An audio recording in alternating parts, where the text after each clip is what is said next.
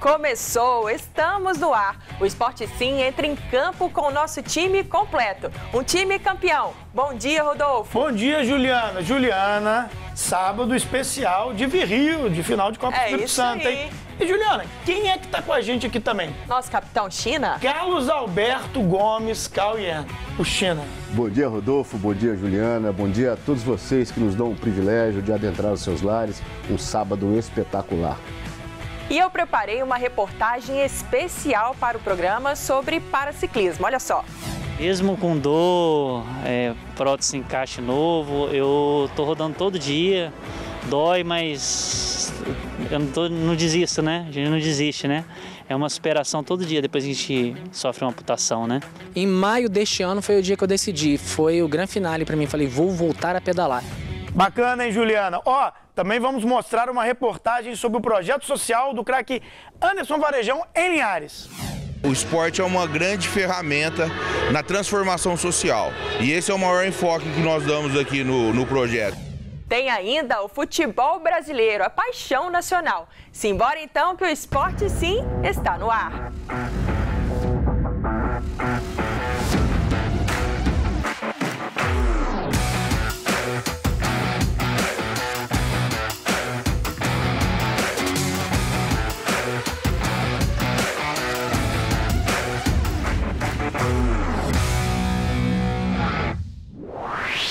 Sábado de decisão na Copa Espírito Santo, em jogo único no estádio Kleber Andrade, às 4h15 da tarde. Rio Branco e Vitória decidem quem será o campeão da edição 2022 da competição.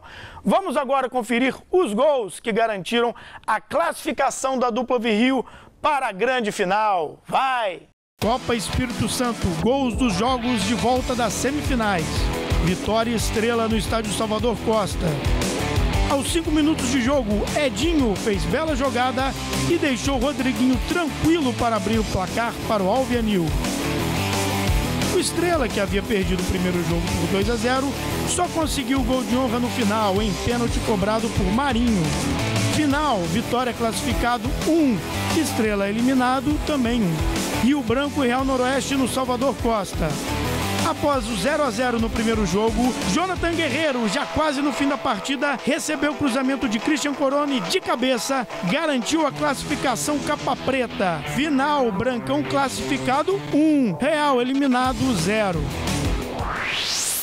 É, pessoal, bem que eu falei no outro programa que Vitória e Rio Branco eram os únicos invictos, né? Verdade, Estão na Juliana. final. Os únicos invictos estão na final e China podem até ser campeão sem continuar nos dois invictos, porque se empatar é pênalti. É pênalti. E continua Jogo invicto. único, sem vantagem pra ninguém. Mas o Rodolfo, Juliana, tra- chegaram na final porque esse trabalho começou lá no estadual. Né? Quando o Rio Branco trouxe o Eliomar, o, o Vitória Rodrigo César, eles começaram a montar essa equipe, fortalecer essa equipe e chegaram com todos os méritos a, a- a- a essa final, né? E, Vitória tem uma equipe muito experiente com Edinho, Carlos Vitor, João Paulo, Edinho está jogando muita bola, Rodriguinho, Rio Branco, com a presença do Marcelinho, Carioca, que os seus, seus dois meninos jogam no Rio Branco, uma presença ilustre que esteve no nosso estado e vai estar na final, mas, né, mais uma atração para o público. Compareçam, compareçam que realmente vai ser um grande espetáculo, um grande jogo.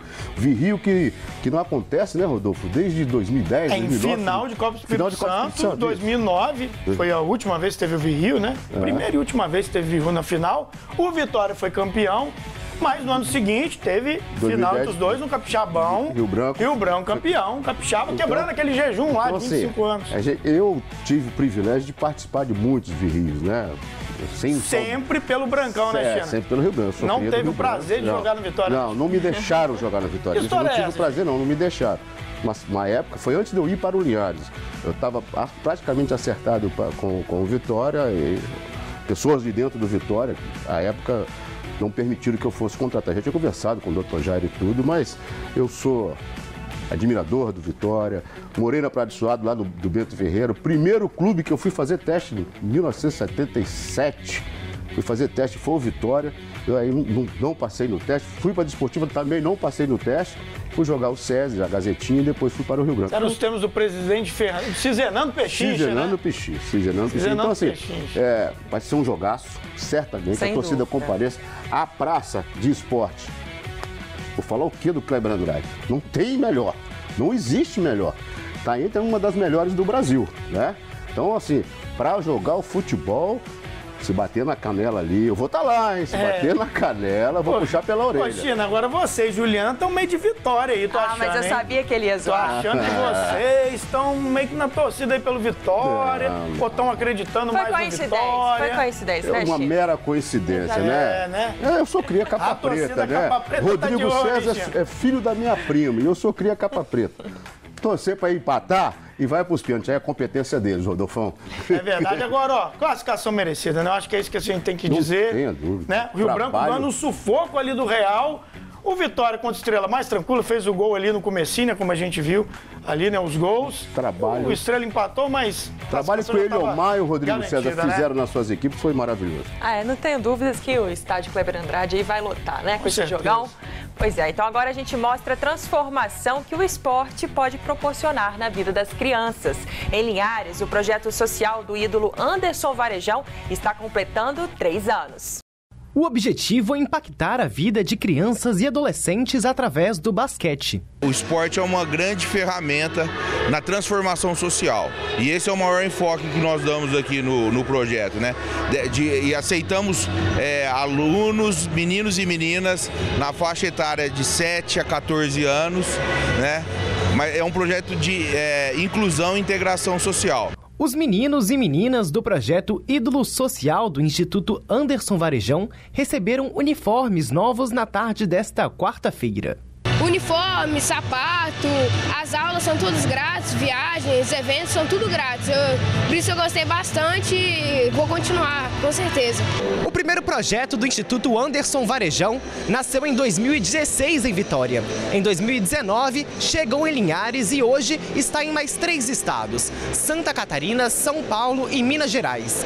E desde 2016 tem mudado a vida de muitas crianças.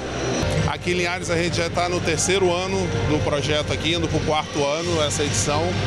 E é importante a gente estar criando cidadão, né? A gente não necessariamente vai criar atletas, jogadores de alto rendimento, mas a gente vai, vai transformar pessoas, nós vamos criar cidadãos, a gente traz a família com a gente. Isso é muito importante, assim, a gente está trabalhando dentro disso e proporcionando para essas crianças, para essas famílias, essa possibilidade de estar participando de um projeto com muito carinho e muito amor. Eu comecei quando uns amigos meus eh, vieram para o instituto. Aí, por causa do meu tamanho, eles me apresentaram o basquete. Eu falei, ah, vou ir, que é um esporte legal, bacana. Aí eu comecei, tem uns dois meses, é muito legal. O instituto abraça a gente, a gente aprende a cada dia. Eu comecei no, no início desse ano, quase. Eu acho que foi no mês 3, mês 4, por aí. Ângelo Varejão é quem coordena o projeto e é irmão do jogador capixaba de basquete Anderson Varejão. Para ele, mais importante do que formar atletas é o impacto positivo do esporte na vida das crianças. Porque a gente não só trabalha a quadra, a gente trabalha o basquete de uma forma lúdica e a gente tem assistente social que a gente interage com essas famílias, a gente sente essas famílias, então a gente recebe o feedback das famílias.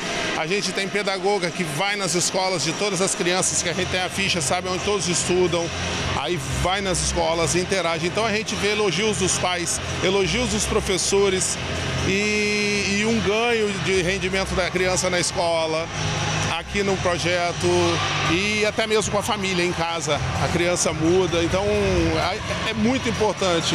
Tem pai que faz questão de acompanhar de perto o filho na escolinha. sempre apoiando, né? Nós, como pais, no mundo nós estamos vivendo hoje, tem que procurar dar total apoio aos nossos filhos para que não possa caminhar para um outro caminho, né? Tem que caminhar para o caminho certo. Né? O esporte tem tudo para dar para os nossos filhos, um futuro melhor para eles. Sobre o projeto, os menores adoram. Eu gosto daqui porque eles, eles abraçam mesmo, sabe? Toda terça e quinta é uma te terapia estar aqui. É muito bacana estar aqui e é isso. Eu gosto bastante, apesar de eu não ser muito alta, eu gosto de praticar e de é, treinar, é, jogar principalmente, eu curto muito. A gente aprende muito com o esporte, né? Ter disciplina, ter é, responsabilidade na escola, é, responsabilidade com os pais, né? conviver dentro da família e também no social aqui junto com os coleguinhas. Bacana, hein? E esse projeto também, além de Linhares, ele está presente na Serra, em Colatina e Cachoeiro. Na Serra mesmo são 150 crianças, crianças aí atendidas de 7 a 14 anos. Muito bacana mesmo, né? Parabéns aí para todo mundo aí que está à frente desse projeto. E ele é um exemplo também no esporte aí, né? Tem uma linda trajetória, Nossa, Anderson Varejão, é. uma trajetória aí de muitas vitórias. É uma pessoa que realmente, é, com esse instituto, está fazendo diferença na vida desses jovens, né? É aquilo que eu falo, o esporte transformando vidas. Parabéns, Anderson Varejão, parabéns a todos envolvidos no projeto, as prefeituras né, que abraçaram o projeto, né, que dá essa oportunidade às crianças de estarem praticando esporte. Criança de 7 a 14 anos estando praticando esporte, está fora das ruas. Parabéns, que outras pessoas façam e aconteça com essas ações. Parabéns, Anderson Varejão. Nós que torcemos muito por você. Tem um outro de lá de Cachoeiro também, que, que joga, Didi, que, que joga NBA. Então, assim, é, isso nos orgulha, nós como os capixaba, nos orgulha. E nós temos a certeza que nós somos um, um, estado que é revelador de talentos, que nós temos talentos de sobra nesse estado. E ainda falando sobre isso, a gente viu aí a transformação social na vida das crianças no norte do Espírito Santo. E vocês sabiam, Chino e Rodolfo, que aqui em Vitória existe aulas de exercícios aeróbicos gratuitos em várias comunidades. Eu fui lá conferir. Olá a todos que nos assistem. Hoje eu saí do estúdio para vir aqui na Praça de Santa Marta, em Vitória, para acompanhar de perto um projeto super bacana da Prefeitura de Vitória por meio da Secretaria Municipal de Esportes e Lazer, que é a ginástica aeróbica gratuita para os moradores aqui da cidade. Para entender melhor, vou conversar agora com o secretário municipal de Esportes e Lazer, Sandro Parrini. Secretário, seja bem-vindo ao Esporte Sim. Fala um pouquinho para a gente como é que funciona esse projeto. Esse projeto ele é uma extensão das nossas academias populares, né?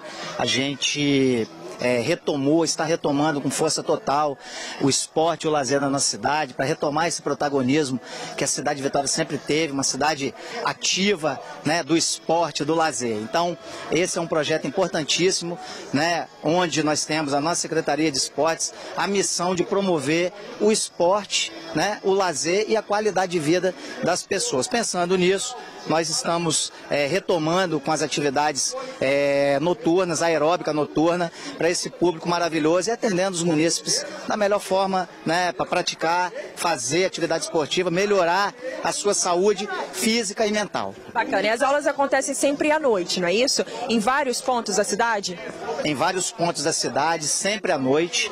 Né? A gente é, a partir das 18h30. Nós temos vários locais funcionando, a nossa ginástica noturna. O nosso público-alvo é o público adulto, mas o jovem, o adolescente que quiser vir participar, é só procurar o nosso profissional. Nós temos um profissional capacitado para receber e orientar aqueles que pretendem fazer a sua atividade física. Bacana, e dá para ver que a aula é bem animada, viu? É, quais tipos de atividade aeróbicas que acontecem por aqui? Ah, nós temos a, a, atividade aeróbica de um modo geral, né? A, as corridinhas, as danças, né? E também nós temos as atividades localizadas, né? Que são muito importantes também. E como é que faz para se inscrever, secretário? Olha, para se inscrever é muito fácil, é só vir ao local, chegar ao local, procurar o nosso, professor, o nosso profissional, o professor, que está capacitado, né, está apto a receber e orientar e automaticamente já faz a inscrição.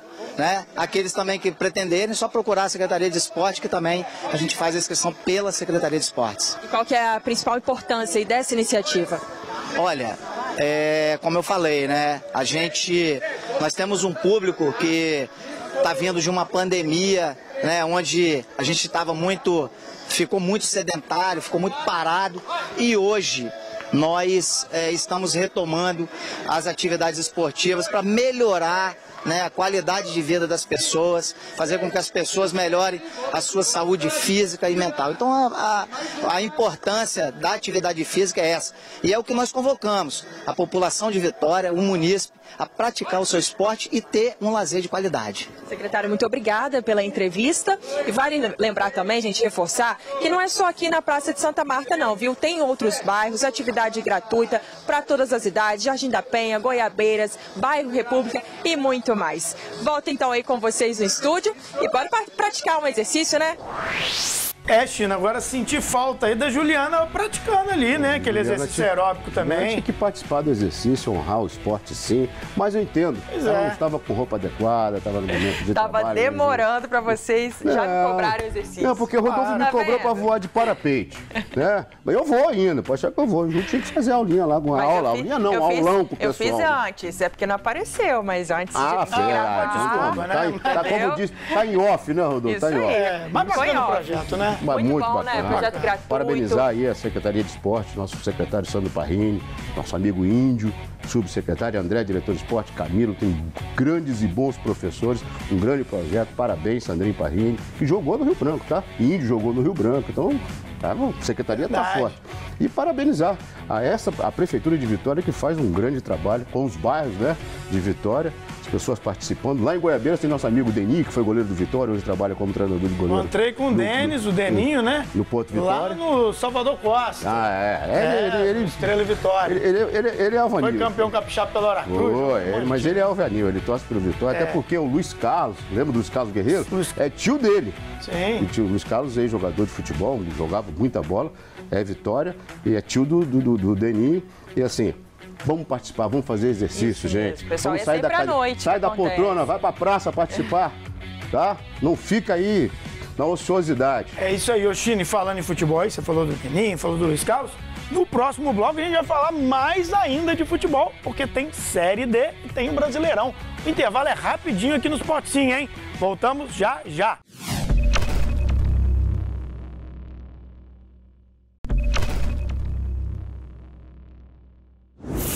Estamos de volta com o Esporte Sim, Campeonato Brasileiro da Série D, domingo decisivo para os times capixabas, com jogos de volta do mata-mata da segunda fase da competição.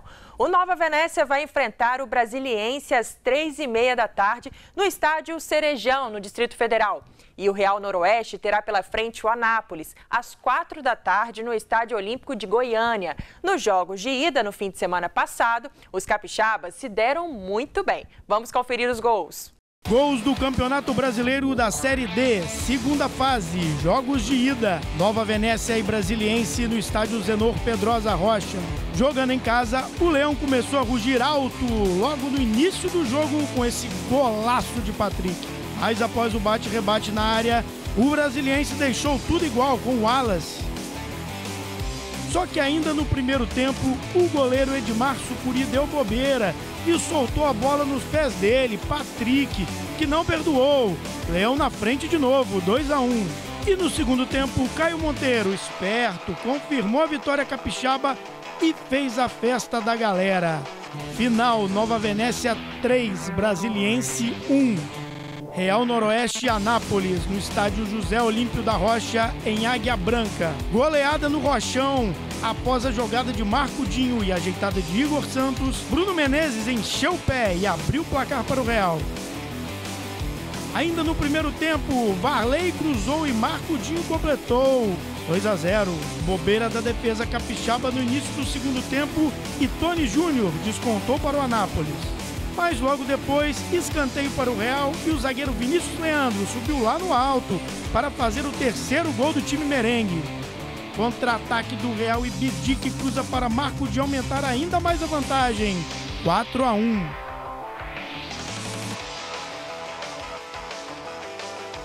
Pênalti para o Real. E quem foi para a cobrança?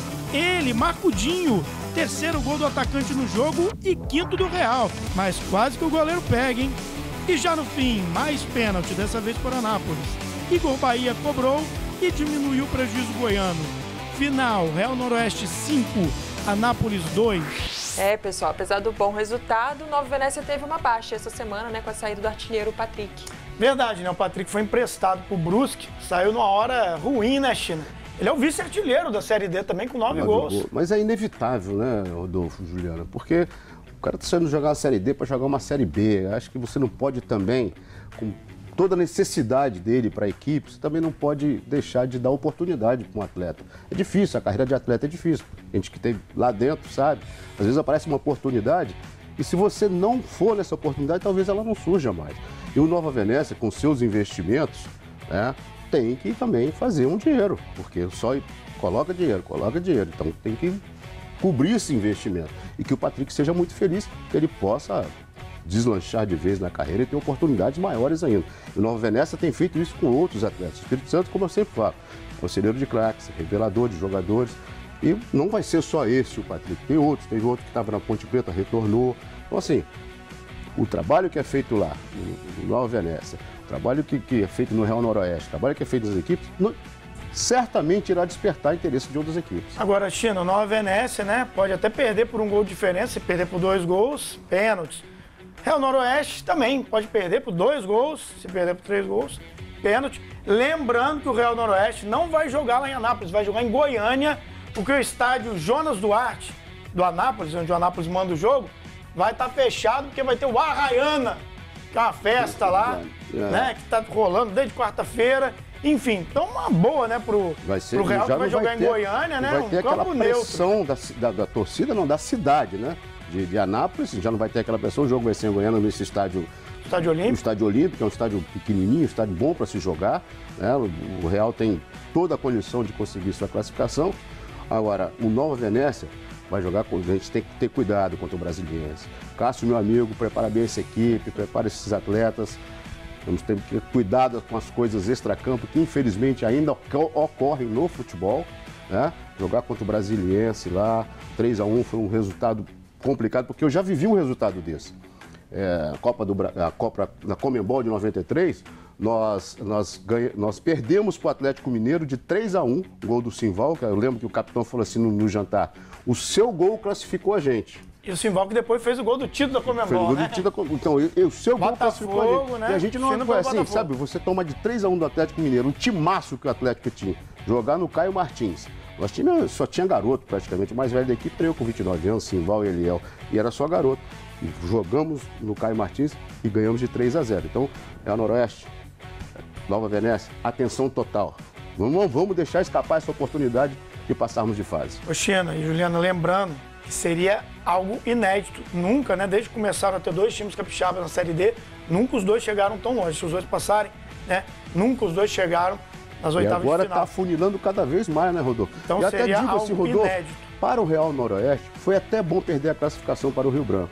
Porque o Real Noroeste já tem a vaga da Série D do ano que vem. Então, foi até bom, porque ela foca só nessa partida. É verdade. E, Chino, ó, o Duzinho, técnico do Real Noroeste, mandou um vídeo aqui pra gente, né, pro Esporte Sim, falando aí da expectativa para esse jogo contra o Anápolis. Vai! Então, a expectativa é muito boa, né? É... A gente sabe que eu vendo o adversário que é o Anápolis, né? Um adversário que está com um resultado é, é, desfavorável, né? mas a gente sabe da, da, da qualidade que tem o Anápolis. Né? Tem um treinador que olha os carros então a gente respeita muito e sabe que vai enfrentar um grande adversário. Quer manter os pés no chão, foco no trabalho, um time aplicado, dedicado, fazer um gol de uma forma consistente para que a gente possa, no final da partida, se Deus abençoar, conseguir nós tão sonhado é, momento que é passar de fase. Tá bom? Abraço. Legal esse depoimento do Duzinho, né? Estamos aí na torcida aí pelo Real Noroeste e pelo Nova Venécia. Mas agora vamos falar dos campeonatos brasileiros das séries A e B.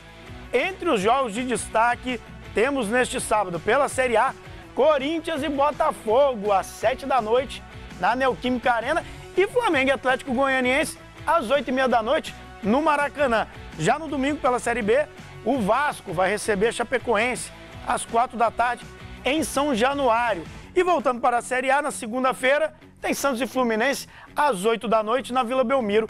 Quero saber dos nossos palpiteiros de plantão quem é que vai levar melhor aí nesses jogos, valendo aquela muqueca que nunca vem, mas que um dia virá. Um dia virá. Juninho vai pra isso é responsabilidade dele. Rodolfo? Corinthians e Botafogo. John Texto. John Texto. Botafogo, né? Botafogo ganhou o último jogo. Corinthians vem de uma derrota aí, né? Então tá meio. Pro Atlético Goianiense. É, Atlético Goianiense vem de uma derrota aí. Atlético Goianiense do meu amigo Jorginho, que eu vou torcer contra o Flamengo. Eu vou torcer pro Atlético Goianiense. Ih, já falou, China já. Já dei meu resultado. Agora, torcer, agora, eu, vou, eu não vou torcer para. normal. Eu, vou, eu não vou torcer para o China Atlético Goianiense. Eu vou torcer para o. Jorginho, que é meu amigo pessoal. Botafogo, já te falei, John Texto, Fluminense e Santos. O Fluminense está num momento. Fernando bem, né? Diniz as- Do auge. ajeitou aquele time. Juliana é meio tricolor, eu Não, acho. ela é, Ah, não, ela é palmeirense. tricolor. Ela é palmeirense. Mas como tem o verde, já pende pro lado do Fluminense, né, Ju? É isso aí, China, vou ter que concordar. É isso Né? aí. O, tricô- o Fluminense tá num momento grande, grandioso o Fluminense. Fernando Diniz ajeitou aquele time. O Ganso tá jogando, pelo amor de Deus. O velhinho tá. Né? Então, vai dar tricolor, né? Fluminense contra o Santos vai dar Fluminense, Botafogo e Atlético Goianiense. Eu Vasco também. E Va- você, É. Rodolfo? Não falou. Não, eu acho que o Flamengo vai ganhar no Atlético Goianiense. É? O Flamengo tá num embalo bacana aí no Não, Brasileirão. o Flamengo, eu tô, eu tô assim, porque o Atlético Goianiense tá lá Mas é que o embaixo. Atlético Paranaense, ele, ele Atlético, gosta de, o Atlético de aprontar Goianiense um está pouquinho lá Flamengo, sabe? na, tá na, tá na, na zona de rebaixamento. Eu preciso torcer pro meu amigo Jorginho sair desse sufoco aí. O Wagner Mancini também no América. Então, para eles dar uma respirada aí, o Flamengo. Dorival Júnior ajuda a gente ali, tá? Mas o Mengão tá jogando demais, né? Vou apostar também no Santos aqui contra o Fluminense, que eu tô achando que vai dar Santos nessa aí, hein, na Vila Belmiro, hein? É. Va- Vamos acompanhar, né? Vamos mudar de assunto O agora, Fernando pessoal? Diniz jogando lá, mas nós não falamos do Vasco, hein? Vasco, nós atravessando a pedreira aí, mudança de treinador, o Vasco tá na pedreira lá. Vamos... Pascão, vamos reagir, hein, gigante da colina, vamos reagir, hein? Pois é, e, ó, e agora falando de ciclismo, em Cachoeiro tem ciclista colecionando títulos e se preparando para o brasileiro, que vai acontecer no estado carioca.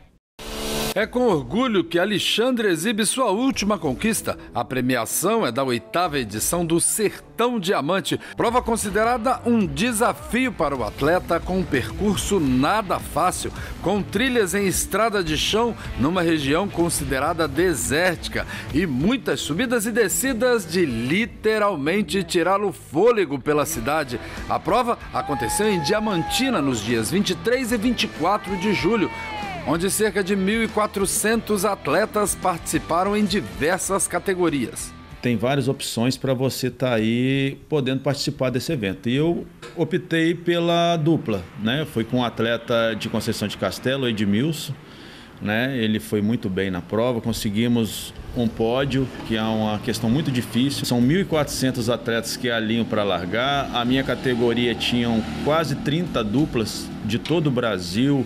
São atletas muito bem preparados e condicionados para esse evento. A dupla conseguiu o sétimo lugar geral, um feito inédito para os dois competidores. Sétimo lugar geral entre as duplas. Então foi um feito inédito para gente. Né? Primeiro ano que eu vou, ele já tinha ido mais vezes. Então ele já tinha um conhecimento do terreno, para mim foi novidade. Mas conseguimos aí no primeiro ano subir ao pódio e trazer um título para o nosso município aqui para o nosso estado. Alexandre é um apaixonado pelo esporte há mais de 30 anos e sua paixão pelos pedais começou cedo. Aos 5 anos de idade, eu tive a felicidade de ganhar a minha primeira bicicleta dos meus pais e tomei gosto. Continuei, comecei a pedalar, foram vários anos se passando. Com 12 anos de idade, eu comecei a competir. Né? E não parei mais. A partir daí, Alexandre começou a despontar em competições com títulos nacionais e internacionais. São muitas premiações que ele exibe também com muito orgulho.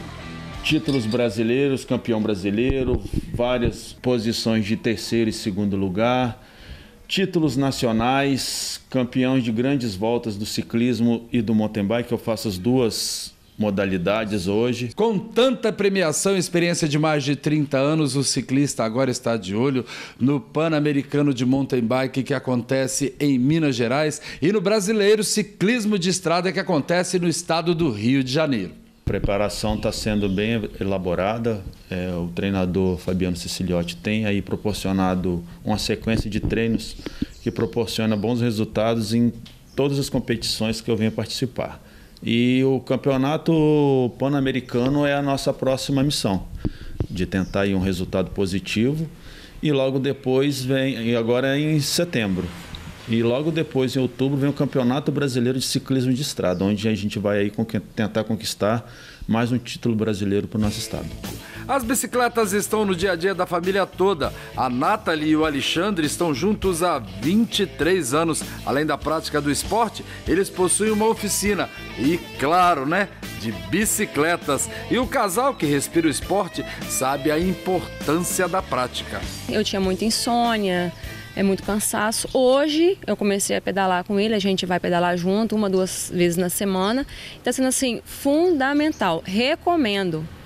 Quem tem algum problema de saúde, alguma coisa, quiser esparecer a mente, a bike é uma das soluções. Meus filhos eles participam de competições, são atletas aí de grande importância para o ciclismo do nosso estado, representam o nosso estado em diversas competições e tem proporcionado uma convivência muito boa né, entre tanto quanto casal quanto filho, né? Para competir, o ciclista tem apoiadores, mas a maior parte dos recursos vem do próprio bolso. Duas modalidades que a gente participa, tanto o mountain bike quanto o speed. E hoje manter uma bicicleta dessa é muito caro. Então a gente tem recursos, parcerias, né, de algumas empresas que proporcionam valores mais baixos para adquirir esses equipamentos e essas manutenções, mas se tivesse um apoio maior, um patrocínio maior, poderíamos estar com mais facilidade de bater time, porque tem alguns atletas fora que contam com apoio e patrocínio. Então, eles têm equipamentos mais modernos, mais sofisticados. E hoje em dia, quem não investe em equipamento, ele fica para trás. Então é aguardar para saber os resultados e que venha o brasileiro. E claro, sorte para o competidor.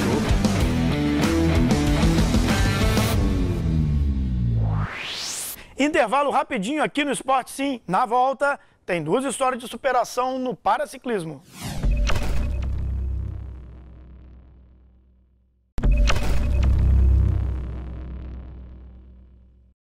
De volta com o Esporte Sim com duas histórias de superação, a do Bruno e do Lino. Em comum entre eles, o paraciclismo.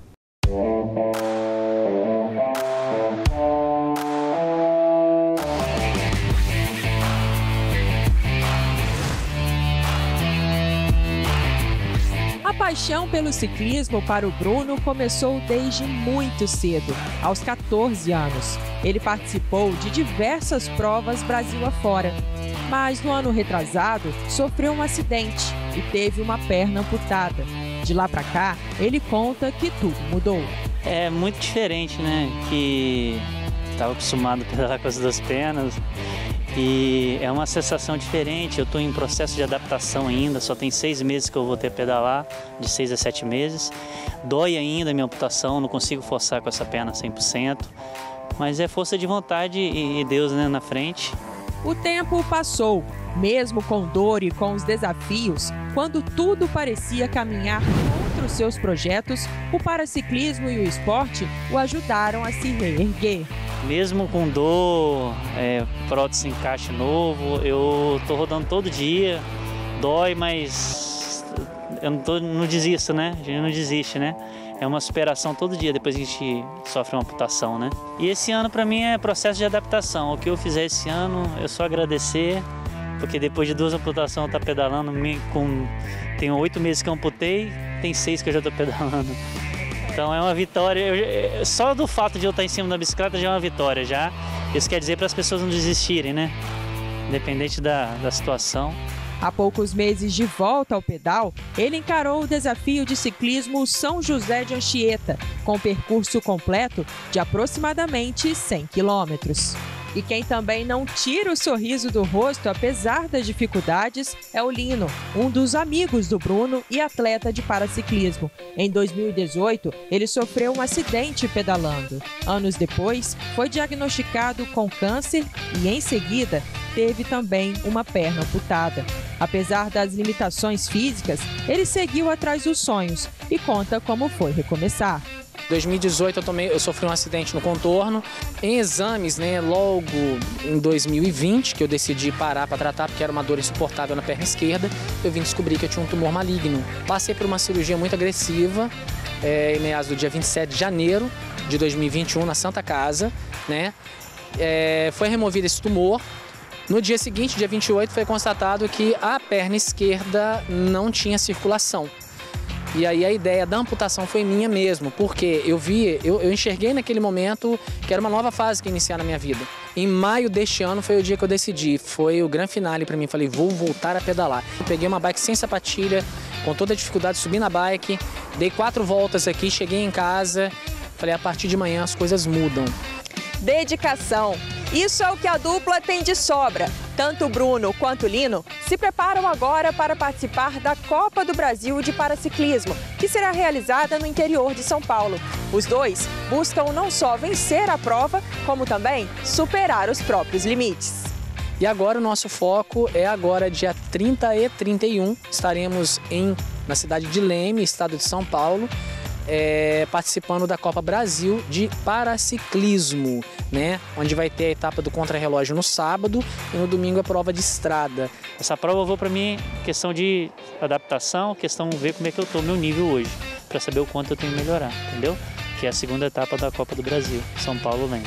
No paraciclismo, as provas são divididas por classes. Cada uma delas varia de acordo com o grau de deficiência dos competidores. Além de São Paulo, a Copa Brasil de Paraciclismo ainda conta com mais uma etapa em João Pessoa. Os atletas comentaram sobre as expectativas. Eu estou aí ansioso para fazer essa viagem depois de anos de, de, de, pandemia, de muita coisa bagunçada no nosso país, a gente tem o privilégio de poder é, participar de um evento dessa magnitude. Passa uma fase difícil na vida, né? Igual eu, duas amputação, tem pessoas igual o Lino, câncer, perdeu a perna. E depois de passar isso tudo, a gente voltar a treinar, pedalar e passar 3, 4 horas sem uma bicicleta, é questão de força de vontade. Mesmo com dor, tem dia que eu tô sentindo dor, mas eu tô pedalando. Agora eles enfrentam um outro adversário, a falta de recursos. Hoje o maior obstáculo é questão de, de apoio, né? Igual a gente vai viajar São Paulo, tá indo hoje, né? E é difícil, né? Tudo pelo nosso bolso, é difícil o patrocínio. Consegui agora essas semanas um apoio de, de suplemento, né? E da farmácia de manipulação também, que é Espírito Santo. Consegui um apoiozinho agora, primeira vez, né? E, e agora é correr atrás de apoio por questão de viagem. Esse que é o nosso problema hoje no, no estado, né? Então, assim, eu vejo que precisa valorizar não só o meu esporte, tem o esporte do cadeirante, tem o hard bike, que é aquele pessoal que pedala deitado, né? Então, vamos valorizar o esporte capixaba. a nossa função não é subir no pódio, proporcionar resultado para nós. O nosso ideal é mostrar para aquelas pessoas que estão no sofá ali reclamando da vida que aqui fora, praticando esporte, o resultado é outro.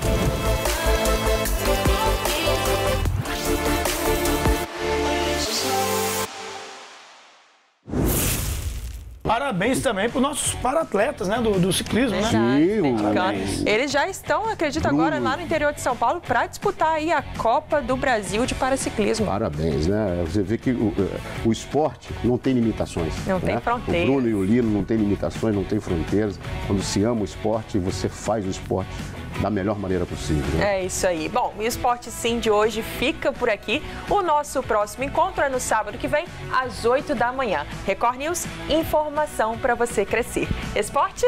Sim! Sim.